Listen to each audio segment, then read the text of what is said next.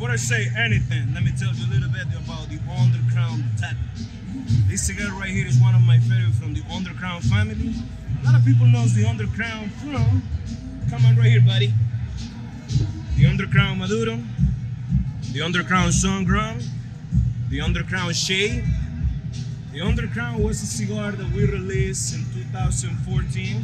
Last year we got the Undercrown as a limited edition production. 2019 is what we are doing. We're bringing the Undercrown Dogma back.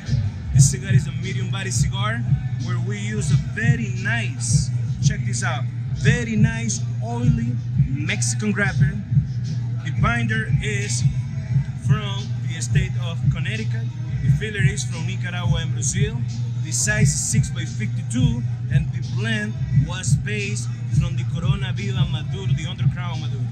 The cigar is a hundred percent legit.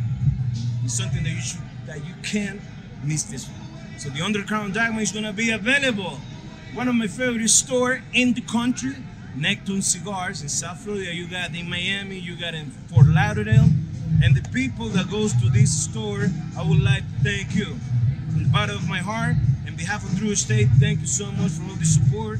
Not just on Drew Estate cigars, not just in Nicaraguan cigars, but cigars in general. Because the beautiful thing about cigars is that it brings people from different walks of life.